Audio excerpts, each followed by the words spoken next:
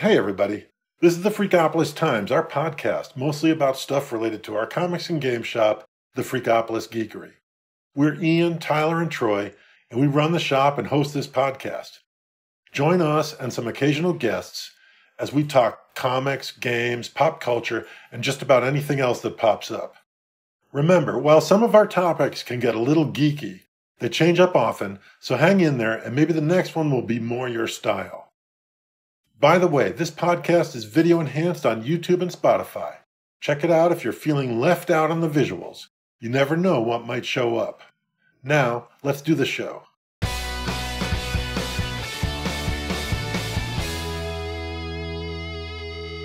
We have the biggest crossover event of the universe of all time. of all time. Of all universes. Of- yes. Yeah. This is bigger than than Marvel DC. This is bigger than Disney princesses with the Iron Giant with Warner Brothers with Nickelodeon. No.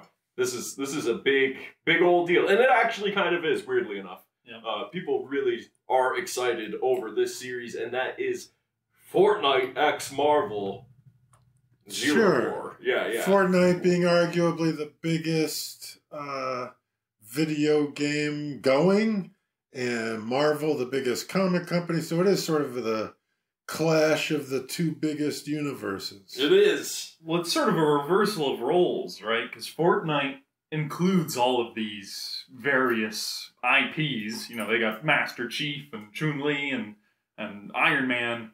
But that was after, that was after time, yeah. I mean, originally no, and then they started Well- adopting that. Pretty quickly. They were like, "Well, let's get John Wick in here," and, and I think when I played it, it didn't have that stuff. It just had Fortnite guys. pretty early on they started putting them in. But oh yeah, now it's Marvel uh, bringing in Fortnite, which yeah, is yeah. It's on the flip side. It's the the physical medium of comics having some Fortnite dashed in instead of the uh, digital medium of Fortnite Yeah. having some Marvel dash. yeah, yeah. Because I know that yeah, you could play Spider Man and stuff in Fortnite. Mhm. Um, so yeah, that's kind of cool. Like to turn it around and bring the Fortnite guys into a Marvel comic. Yeah, and it sounds as though these uh, big Marvel characters, Spider Man, Wolverine, Iron Man, uh, make their way to the Fortnite Island, of all places. Somehow, I'm sure through some uh, cross universe jumping portals or whatever, they end up in the land of battle royales. Indeed. It's it's a mini series. I forget five or six issues. Something like that, yeah. Um, and it's going on right now. I think they're probably on issue three or four is out right now. As a shop, we tend to get more trade paperbacks. Mhm. Um, so basically, we get the collected editions, which will be out a little later this year. I think it's scheduled for October, end of October, or early November. Uh, for the collected edition, which includes the whole thing in it, Very cool. uh, it is- looks like it's going to have an awesome cover. Uh, the combined, you know, that one of those tons of characters of from both universes mixing. The together. covers for this miniseries have been a pretty big deal. Some of the variants and stuff pull in the big hitters from Marvel artists and are running a pretty penny. You know, they're they're desirable collectibles, obviously, because uh, like we said, it's a huge crossover. It, it might not necessarily appeal to me, but I see why they would do something like this. And as a miniseries, you know, it's off to the side. It's not going to intrude in on your current The Amazing Spider-Man run. Uh, it just is something you can dig into if you're a huge fan, I guess. Yeah, it's going to be just a huge new kind of uh, uh, ensemble cast. Includes everything and everyone from everywhere. Uh, and you get to see all of those make an appearance and a cameo and all of that, which makes it a lot of fun. Yeah, I mean, Fortnite really is the king of crossovers. Mhm. They were the first ones to pretty much capitalize wholly on battle royales. So adding in all these other characters and stuff, it, it put them in another league. I mean, Apex, Apex Legends played the heck out of it.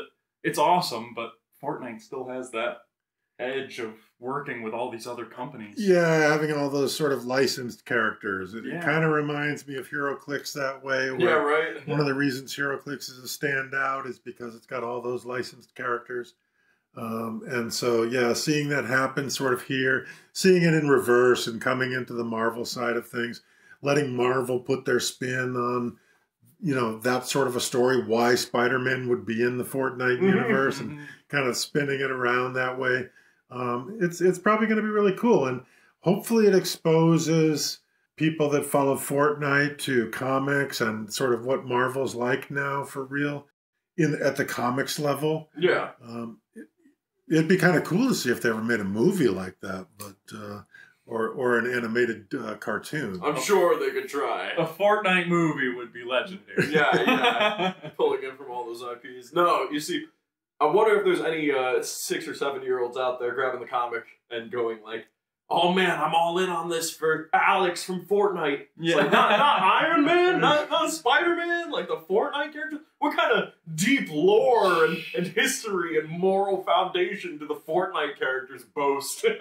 There's a lot more than you'd think. yeah, right. Apparently, Well, you, so. well, you've got a you've got a nephew that's what 9 I Mhm. think, um, and he's a he's known Fortnite his whole life basically. Yeah, yeah, yep. And it's a big deal. It's a big uh, franchise for them. I get that, but it still feels as though those characters are are just avatars for a battle royale to me, and and not so much characters with you know Uncle Ben as part of their motivation. Oh, oh, exactly, like- exactly. I mean, even the Spider-Man in Fortnite to me, you know, it's a skin. Mhm. It's not a role-playing character. No, they add the adaptability of that engine is incredible. They Yeah. add actual mechanics. You know, you can What? swing Yeah, around you get, like you get his Spider-Man web slingers, or if you pick up the Infinity Gauntlet, you become Thanos and can beam people down and stuff. 999 health or whatever. Yeah. Yeah, yeah. So really? Oh, yeah. that's fun. it is, and it, it speaks to the main strength of that game in that they're able to update it at such an incredible pace and introduce these mechanics and stuff. But that is completely different than the Fortnite that we experienced. Right. Well, when when I played Fortnite, it was all about the building, really. yeah. Oh yeah. Now even that is And- no more. No more building. Yeah, there's been quite the evolution of Fortnite. Yeah, we played in the season one Mhm. where nobody was really very good at the building yet. So if you were even half decent, you had a huge leg up. and you Yeah. on feared the anybody. John Wick. I was gonna say, if somebody had a John Wick skin, you knew you had to run yeah. because those Those people guys were. were pros. Yeah. Um, we ended up with some crazy matches of Fortnite. With no, like sure. 30 kills in total and stuff. It was- Early it was on, a lot of fun. Yeah, it, it was really cool for sure. But that was actually generally prior to its explosive growth into the mainstream of all video gaming. Yeah, yeah. It wasn't the biggest thing No. when we tried it. And so it's interesting to see now that there's such huge crossovers on both ends of the table. And admittedly, though I haven't read it personally, it seems as though the concept for this story is kind of fun. A lot of your favorite big Marvel heroes get brought to the Fortnite Battle Royale island and come across some of their main characters, and they together have to determine a way to stop the never ending Fortnite war. Yeah, right. it's almost like a parody. like, I will say the events they have in Fortnite are crazy Yeah, that yeah. they pull those off. Like having rappers perform huge uh, concerts Oh, that like thousands of people join and live watch. events and yeah. stuff. Sure, yeah, yeah. Crazy animations and stuff. It's, They've pulled Well- off some revolutionary kind of attempts at things. Yeah.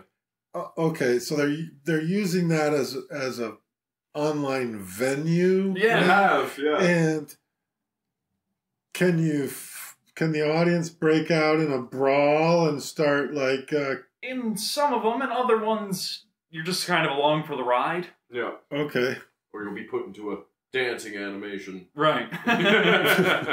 once you get close enough or whatever. Yeah, yeah.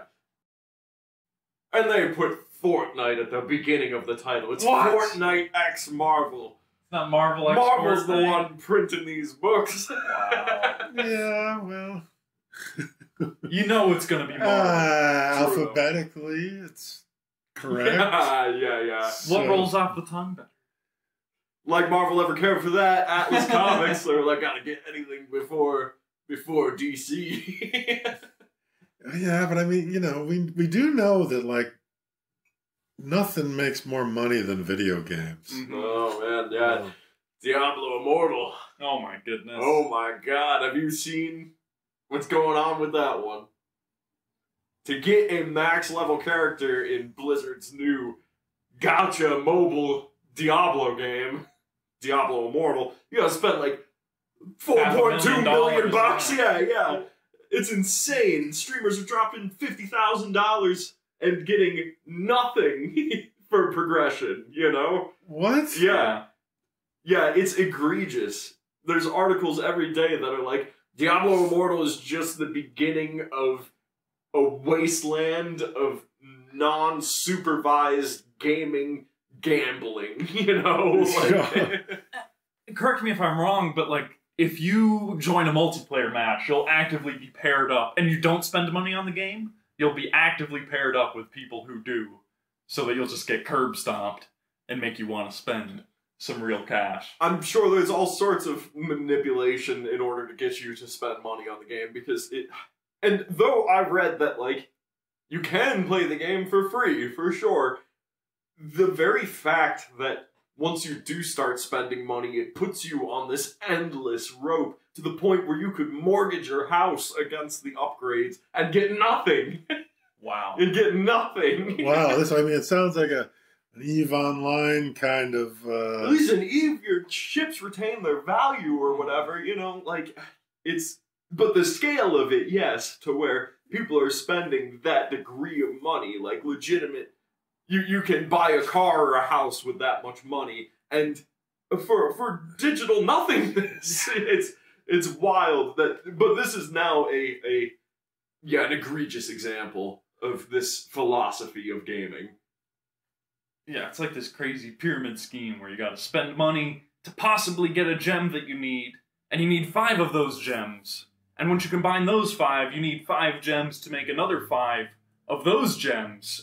Well, And it's like, So, like, at the beginning when it was first released, it was estimated, someone did the math and they were like, okay, so based on what we can see at the max level, to be able to get a fully kitted out, perfect character with like plus 10 gems or whatever, all the way around, uh, is going to cost like $168,000. And everyone was like, $168,000 for a mobile gacha game? Like, that's crazy. Then someone did it, and they discovered that there's another layer of gem upgrades underneath.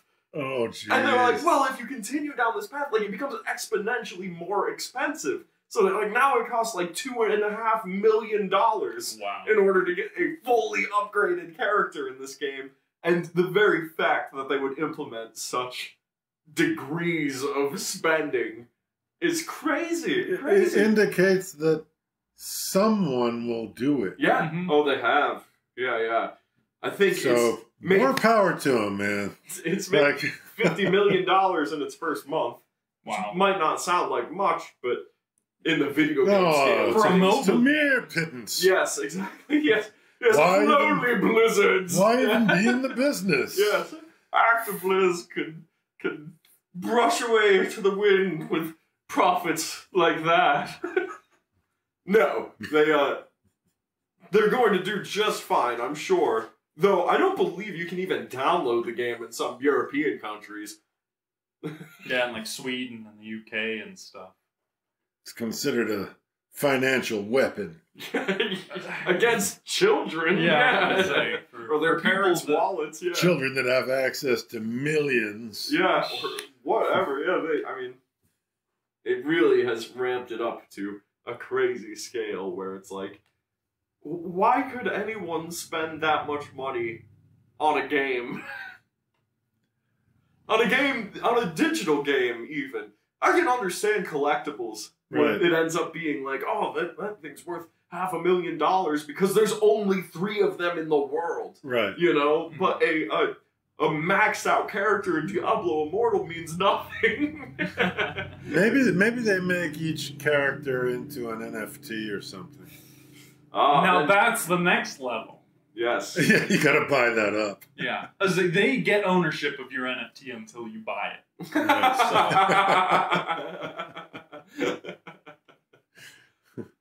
I don't know. I guess then that would allow you to sell the character as a Right. It allows them to sell your character twice. We sell the character to you to level up, and at the same time, we constantly capture NFTs of your character to sell to people, on the online marketplace. Yeah. as well as your medical information for some reason.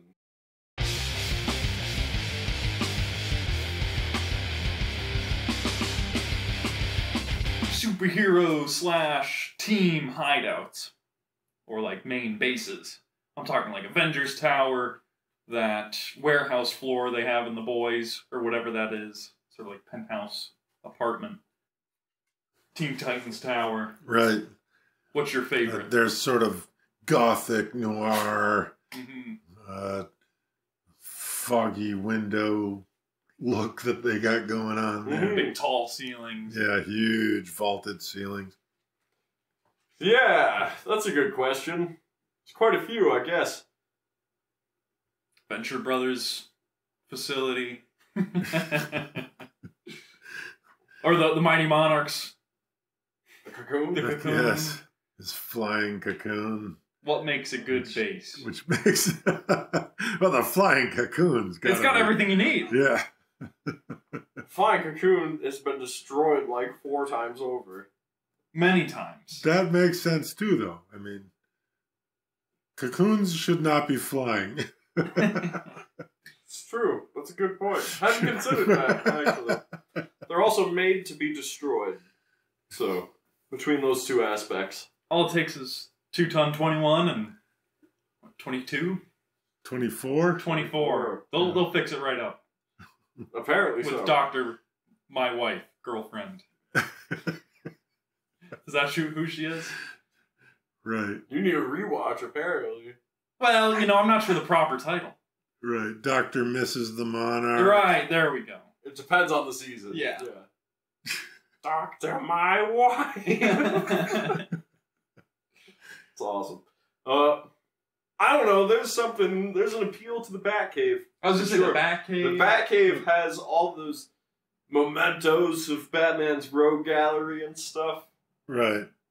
Yeah, Batcave makes a lot more sense. Like, I'm a big fan of the Fantastic Four, Yeah, but like the idea of having your headquarters in sort of the top of a well-known skyscraper just seems problematic. past The- the early 2000s. Yeah. Yeah, yeah, yeah. We, we've kind of learned That's, not, the way to go. that's yeah. not the best idea for your headquarters. No, I would imagine No. not. The Batcave seems like a you know keeping it secret, having it be like underground. That those are good ideas. Mhm. Those are good ideas. The Baxter Building, the Avengers Tower, all that kind of stuff Yeah. is, is very prominent. Those are some some outward facing superheroes for sure.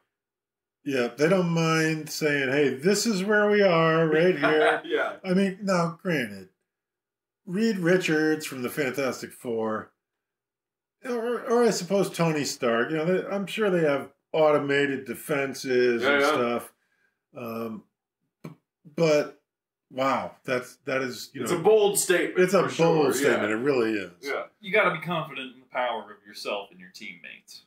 too. Admittedly, Fantastic Four and the Avengers are uh, not easily defeated, so if I would put anyone out there in the open, it would probably be them. But at the same time, there's a lot of heroes who uh, are thinking it a little more down to scale, and that works better for them. Like uh, Matt Murdock has his lawyer's office, essentially. Yeah, you know, yeah. there's some smaller bases of operation that end up working for people pretty well. Yeah, I mean, I like the boys' headquarters. Yep, yeah, yeah, that's You a know, good we just saw that one, you know, kind of quite a bit this week in the season finale. Mhm. basically what they've got. They, they got a cool private space that no one knows about, and uh, probably some really good Wi-Fi. Yeah, yeah. Oh, yeah. And that's That's that's, the extent of it. yeah. Yeah, that's pretty much it.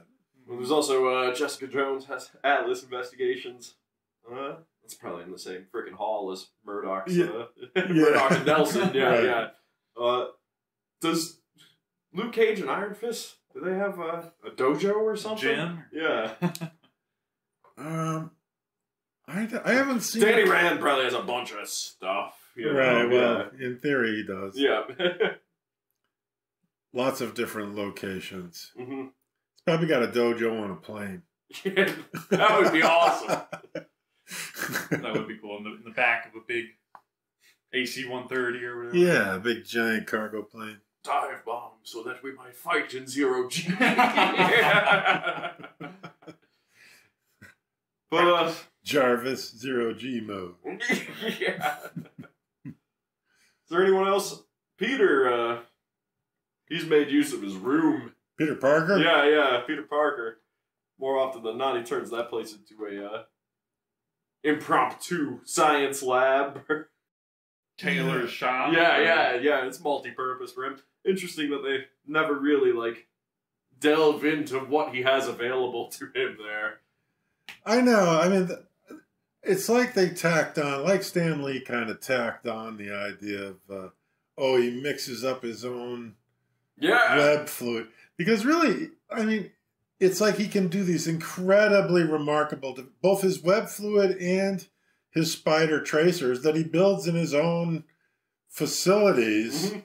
are like better than everything else in, in that category. I mean, Mhm. you know, web fluid is probably one of the coolest uh, uh, chemical compounds in the Marvel universe. yeah, Um, those spider tracers are like invulnerable and you yeah, know yeah. They're incredibly work useful. perfectly, Yeah. and they're tuned to his own spider sense yeah. and all of this. It's like man, it's like if he could do that, why doesn't he crack out inventions just left and right? yeah, you know, true like- enough. Yeah. That definitely kind of capped him with his initial inventions. and now that's all the room he has in the closet of his headquarters, uh, to, After that- where his science kit is set up. For some reason, he lacks inspiration. He's just like, well, I uh, added some glider wings to my suit. it's like, oh, come on, Spidey. you Just couldn't you make like invisibility fabric? you know? Yeah, that, that does seem within the realm of possibilities. Like Kite Man does the same kind of stuff. For God's sake. Kite Man from the Harley Quinn animated Yes. series. Or For the listeners at home, yeah, yeah. that's where you'll that's a- find Kite Man. That's a that's a cross dimension Yeah. reference, yeah. But he's existed as a, a Batman thing in the era of really, really campy, ridiculous, unwanted Batman and Superman stories. Yes. like unnecessary. It's filler. Perfect for annuals yeah, and yeah, yeah. stuff like when that. the editors aren't hanging around for some reason. Right. But instead, like, oh, now because Batman is wearing a, a rainbow suit, he is completely psychotic and doesn't want to be Batman anymore. It's like, who, who came up with this? Who cares? And I guess it comes back around to Batman because the Batcave is the ultimate. The. Batcave, yeah. I think that wins, honestly. Now we did recently see in um, uh, in a recent comic club we read Kevin Smith's Green Hornet, hmm um, and Green Hornet also had in, in that series basically the equivalence of a Batcave. The Hornet's Nest. Yes.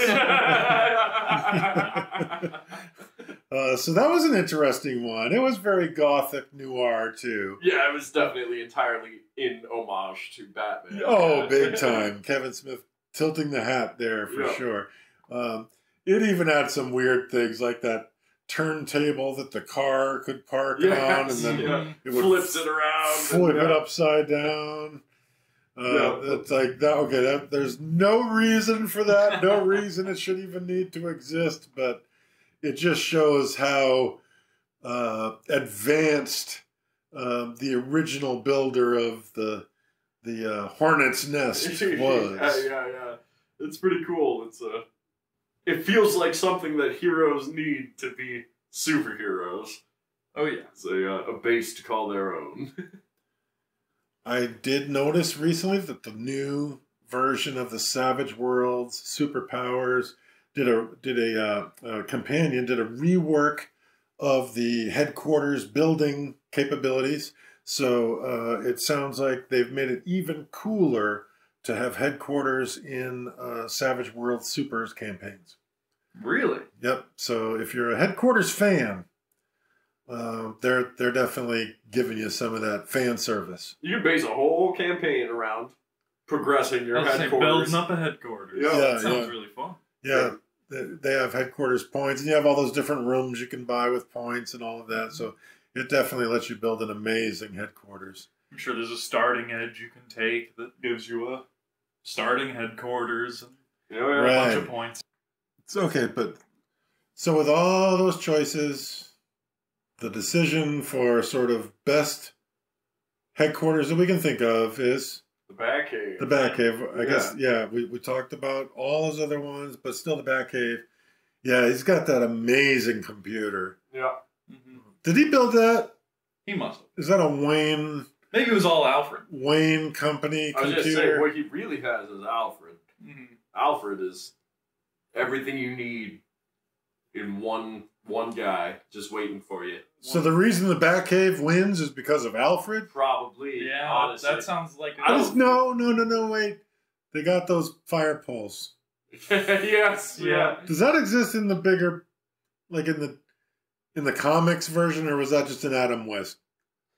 I'm sure it is referenced in the comics. I haven't seen the Batcave in a little while. when they go down the fire poles. I've seen a number of Batcave representations. Does they come out the bottom in their suits? Even if they went I down the don't top think so. in the No, right- no. no. The Only in suits, SpongeBob. Oh, the suits are kept down there in like hermetically sealed closet things. Um, fair enough. But yeah, I, I'm gonna say yes. If the fire poles are part of it, you got to give it to the Batcave. Put the fire poles and Alfred together. What do you get? The best thing about the Batcave. All right, so there we go. The winner's the Batcave because of the fire poles and Alfred. Let us know your favorite and why the Batcave's the best. Yeah. yes, let us know why the Batcave is the best, or your alternative favorite.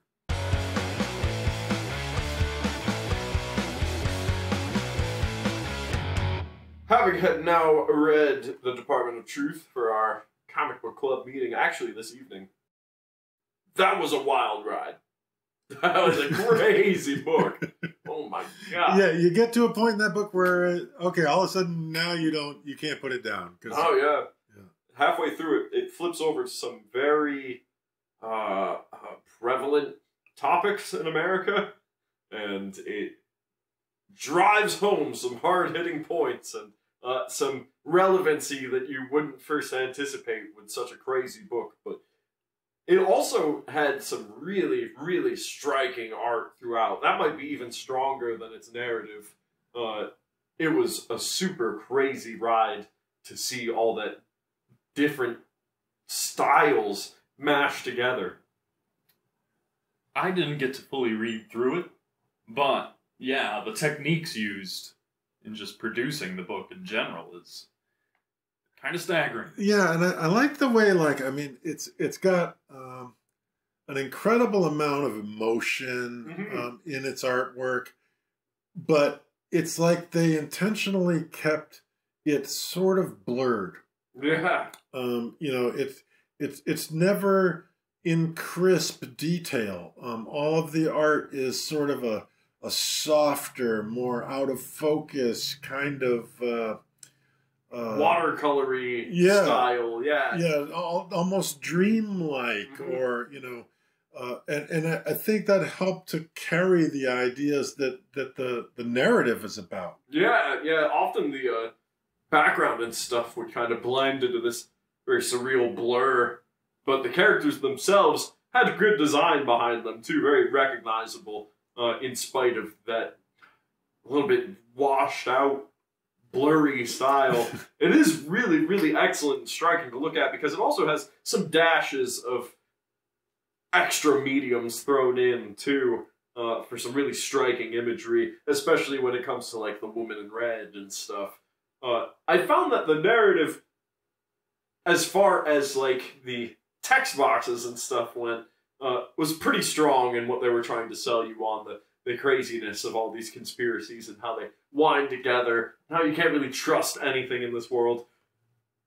The dialogue, however, uh, was really strong, but felt so real that Right. it was almost hard to follow. it's like that's definitely what a real conversation sounds like, but uh, In a comic book, Yeah, what what are they talking about exactly? Like, yeah.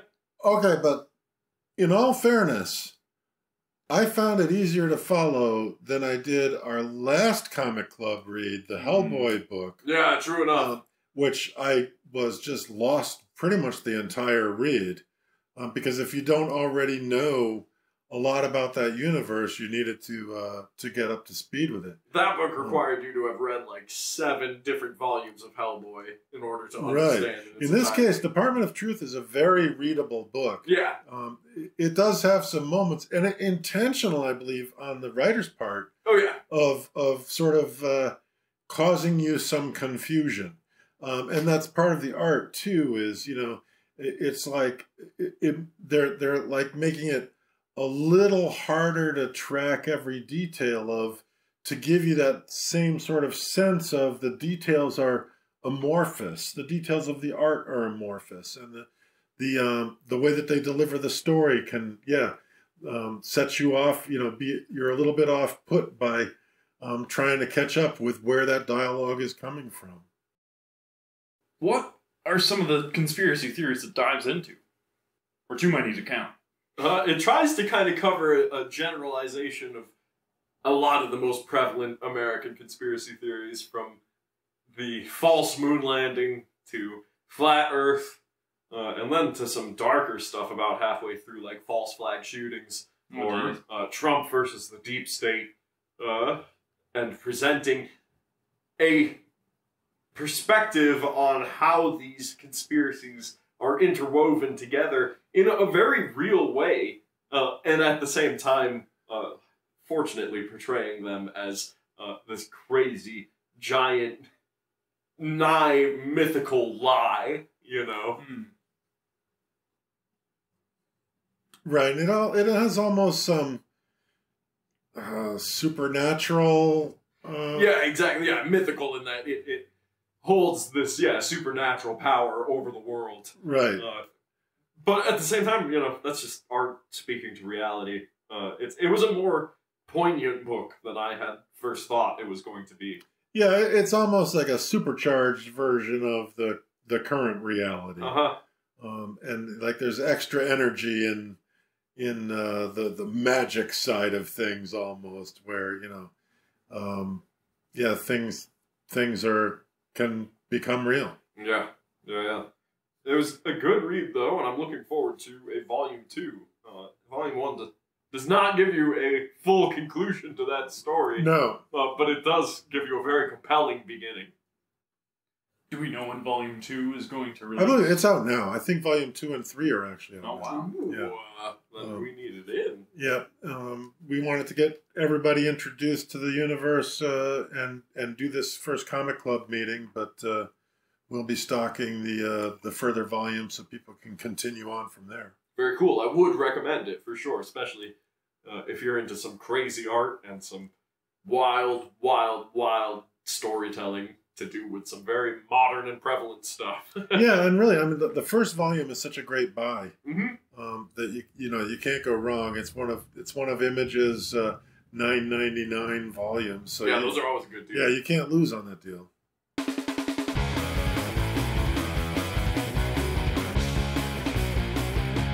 Excitingly enough, today we have some sci-fi made science. reality. Yeah, we have science. real, real sci-fi.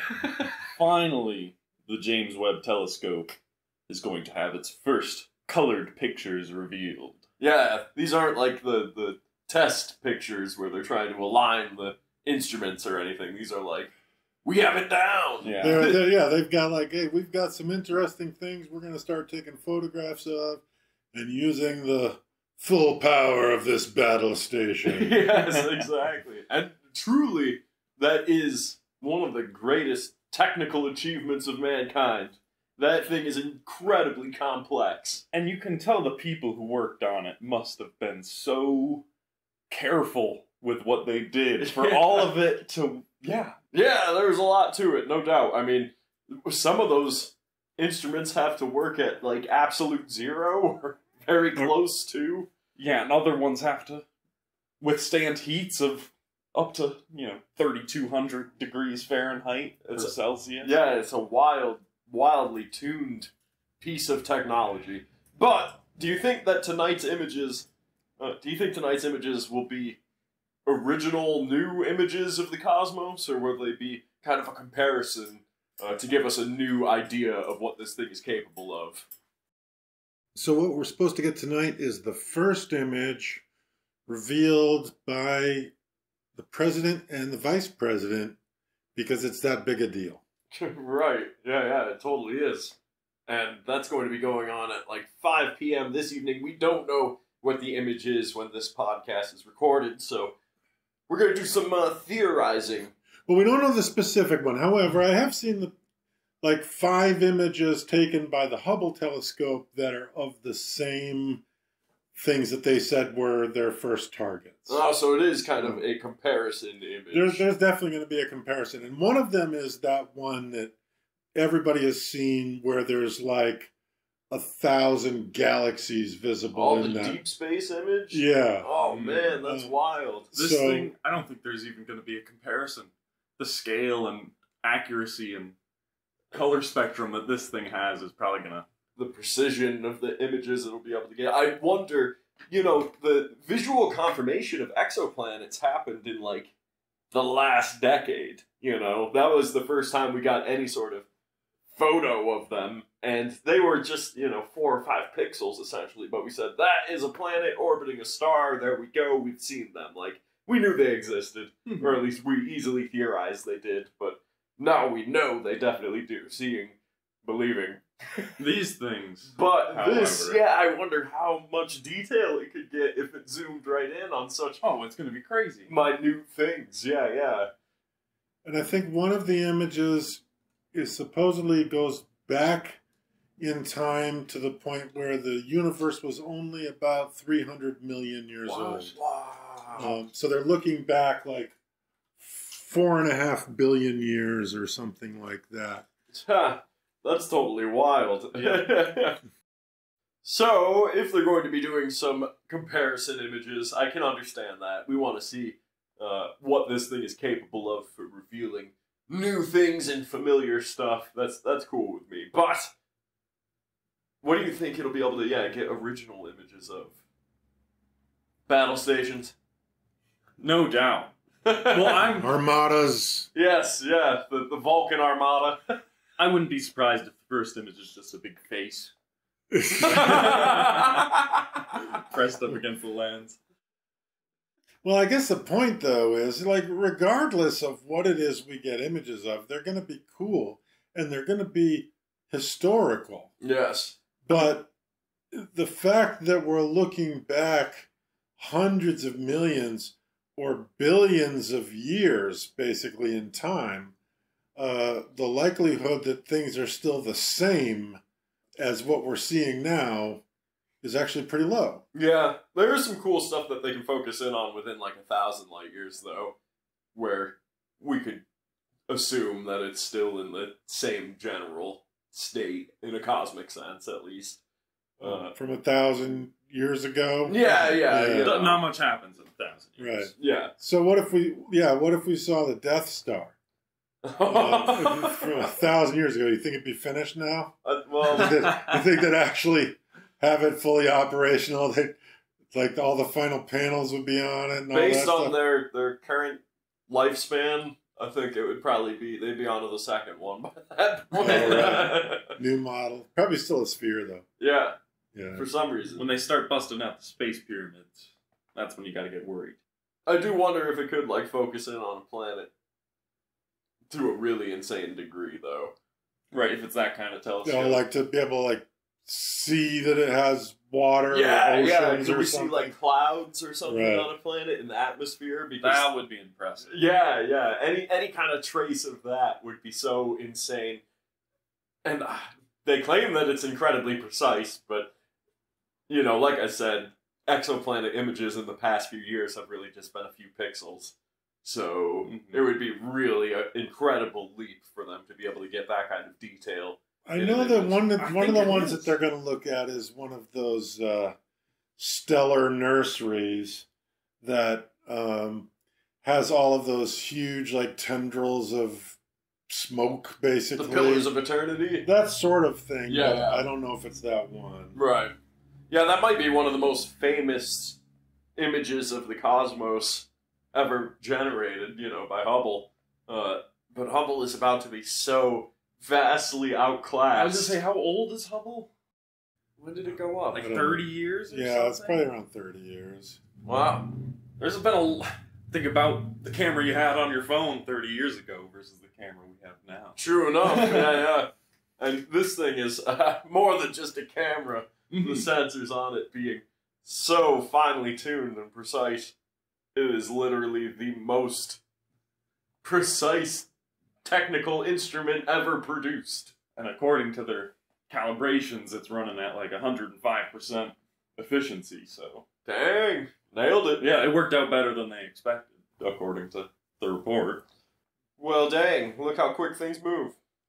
The Hubble's only a little bit older than me. They have a whole generation of telescopes to leap ahead with. Yeah, I, I mean, I can't imagine like maybe they'll just let uh, schools use the Hubble or something. You know, like tenth grade science class will be able to log into the Hubble and use it. The James Webb is also way further out there than Hubble is, right? Oh yeah, yeah, it's a lot further. It's it might be I think it's like the most distant uh thing rotating around the Earth. It's about halfway between the Earth and the Moon as far as distance goes. A pretty significant distance for sure. Yeah. that is an impressive distance from the Earth. And it speaks a lot to uh, the nature of that technology, just how precise and difficult it is to get in place. What just the fact that it works in the first place is ridiculously awesome. I mean, it cost billions and billions and billions of dollars to build and send this thing out there. So, you know, I guess we'll give it the month it needs to even process the images that it takes. No doubt. But we are looking for here. some good photos here. Yeah, these Okay. better be some good photos. Yeah, I mean they better be top-notch photos because they're expensive individually. no doubt, yeah, yeah. We we definitely paid big time for it, but at the same time, so worth it. Oh if yeah. it is our best eye into the cosmos ever made. So stay tuned on that because I imagine we're going to want to talk about it after we see some of these spectacular photos. Yeah, no doubt.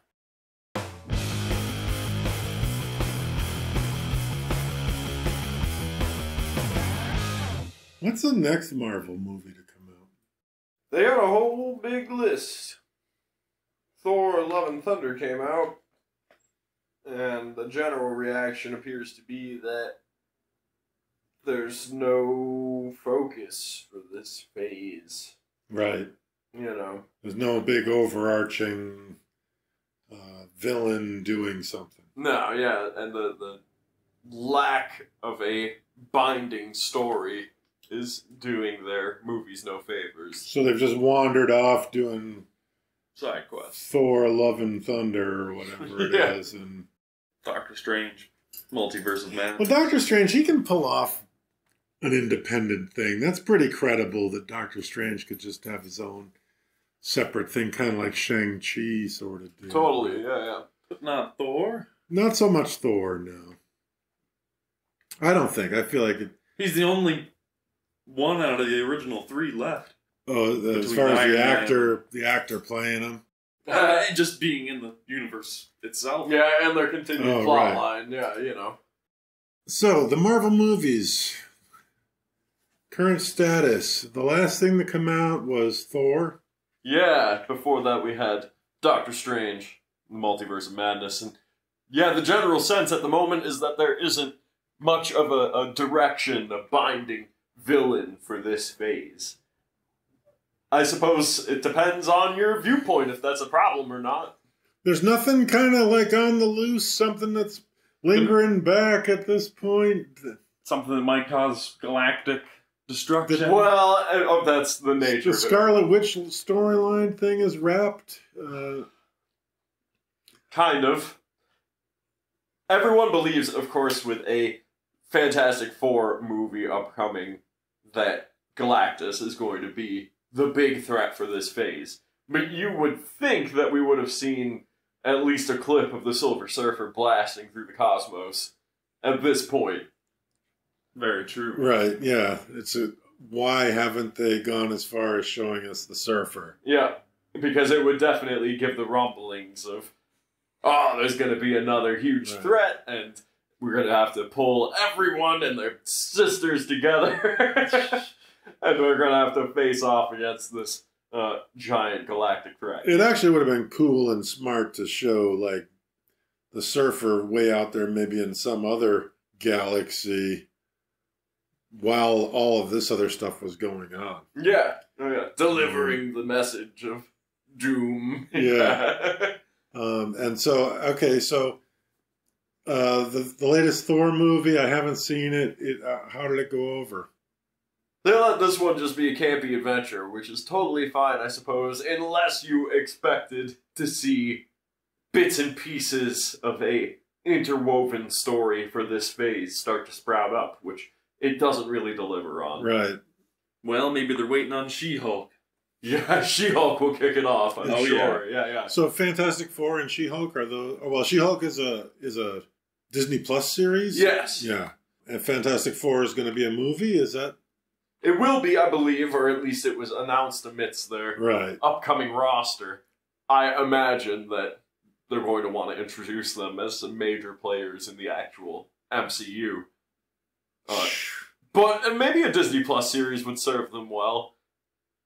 I don't know. I mean, maybe the you, I almost feel like they're gonna like they're gonna disappear the Fantastic Four from the MCU. like like not not bringing the curse. I mean, we've talked about that before already on the podcast. yeah, but, uh, yeah. You know, They just need to not do the origin story, or at least if they do, do it like wicked fast, yeah. and then let them just be the heroes they are, And- and do Doctor Doom right. do we know of be anything else that's queued up? Ah, I don't know. the She-Hulk. my head. Yeah, She-Hulk. I mean, Yeah. uh, but that's that's weird. That's that's like a strange uh, news series that it's gonna like. I mean, she's a lawyer. yeah, you know, right? they're, And- they're trying to branch out into a more young adult audience. I think right. making something with kind of probably sitcom aspects, while at the same time being uh, very superhero-y Marvel. It Yeah. has freaking Bru- uh, their Bruce Banner, you know. So. Well, we'll see. Yeah. Yeah, yeah, the prospects for their future, though, are pretty interesting. I think they keep delivering with these individual plot lines when people have come to expect uh, a, a universe that is always crossing over within itself. Yeah, massive and interwoven, uh, and they've proven they can do that. Yeah, Um, but it's not like all all comics are continuously hosting other comic characters. No, exactly right. There's there's mini series and stuff where characters go out and do stuff entirely individual to their team uh, or their their general setting. Sure, and in uh, in some comic titles, the miniseries is the only time that they actually team up with anybody. Yeah, yeah, And yeah. otherwise, they're doing their own thing. Right. I just think it's going to be crazy when we see a duplicate of Iron Man and Captain America show up Yeah. uh, after movie scenes, and it ends up being the Skrulls. the Skrulls would be a crazy enemy for them to start introducing in full. Yeah, yeah. Mm-hmm. I can see them pulling off some absolute shenanigans. Exactly. yeah. Well, and Skrulls would be a legitimate threat that would work across a whole lot of Yeah. pieces of media. Yep, suddenly they could start going back and saying, that guy was a Skrull, Yeah. and so on and so forth. This politician is a Skrull. Yeah. Yeah, if they pull that off, then yeah, there's a lot of ways that they can bring it all together. But of course, they would be, I believe, an underlying threat for a larger, more menacing force, which Loki kind of leaves uh, Kang the Conqueror wide open for them to play with. Uh, he's never actually like shown in full, but it is assumed that he's out there in force, and Kang can be a a world threatening force. Oh, yeah. You know, in, in Kang versus Doctor Doom, though, I think Doom comes out on top. Really? Yeah.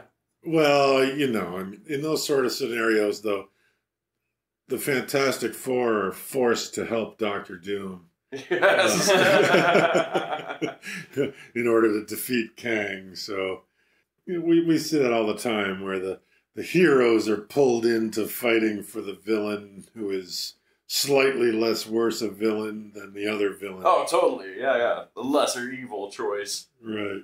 But you, you definitely imagine the Fantastic Four, potentially Doctor Doom and stuff, playing an integral role in the introduction of Galactus. And that their moment in the spotlight is inevitable. I mean, we talk about them on the show. We, we, we utterly await their true, worthy introduction to cinema. but yeah, with that, maybe with them will come along a. Uh, transition in this phase from kind of these loose individual stories to a more intertwined narrative.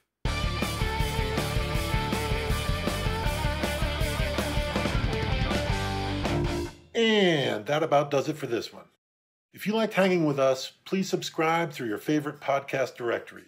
Join our Discord and check out our shop, the Freakopolis Geekery. See you next time.